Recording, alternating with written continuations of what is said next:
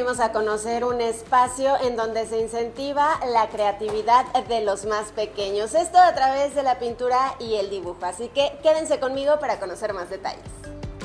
¿Sabías que dibujar y pintar tiene múltiples beneficios? Pues desde tiempos inmemorables ha servido no solo para expresar tus emociones, sino para reducir el estrés, la angustia y por supuesto resulta una actividad muy entretenida. Bueno, desde un punto de vista muy personal, he notado que el arte se le ha dejado muy de lado. Se le, de, hecho, tengo un, digamos, una disonancia con la cuestión de que a las artes se les conoce como materias complementarias, siendo de que las materias primarias, podríamos decirle, han de origen han, surgido gracias al arte, a las expresiones culturales.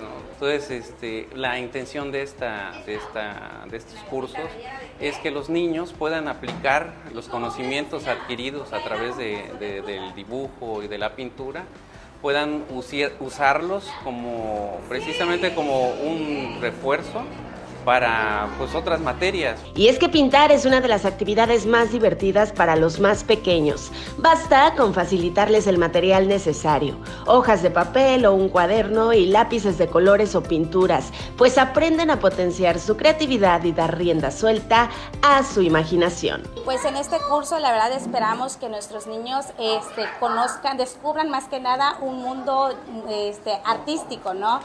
En el que puedan ellos este, fomentar, podamos fomentar el desarrollo tanto motriz como cognitivo y este, vayan desarrollando ellos sus habilidades, estimulando eh, la comunicación, la creatividad, la imaginación y la sensibilidad.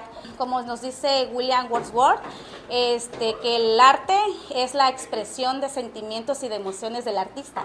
Eso queremos, que ellos se expresen, que logren ellos este, decir, evitar la palabra no puedo, ¿cómo lo hago? O sea, que a los niños que tengan algún interés o tienen algún, este, alguna inclinación hacia cualquier arte, no solamente el dibujo, este, pues los motiven, les compren pues, los instrumentos, las herramientas que tengan necesarias y que a los niños les puedan facilitar más este, pues, este desarrollo. Con imágenes de Manuel Sánchez para Diario Media Group, Carla Nazar.